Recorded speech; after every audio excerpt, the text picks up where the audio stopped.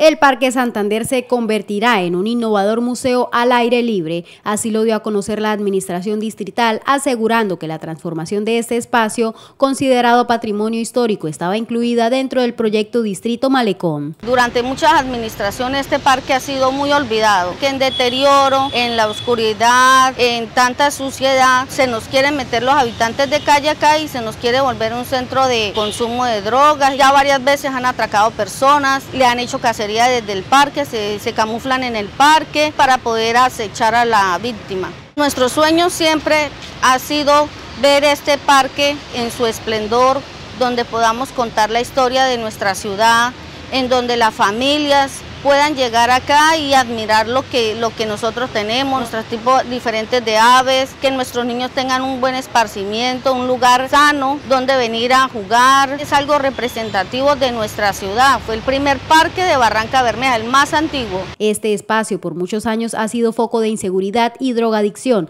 además de haber estado en el olvido. Ahora la administración busca que sea un escenario atractivo para propios y visitantes, donde las familias puedan llegar y disfrutar de forma segura. Eh, nosotros queremos cambiarle la imagen al Parque Santander para la mayor seguridad, mayor seguridad y, y, por la historia que tiene este parque. Queremos que la gente lo visite y conozca su historia. A través de exhibiciones al aire libre, los visitantes podrán explorar la historia y los eventos que han dado forma a este puerto petrolero, apreciando su legado y conectando con sus raíces culturales. Con esta iniciativa no solo se rescata un lugar emblemático, sino que también se promueve la seguridad y el bienestar de los ciudadanos y visitantes.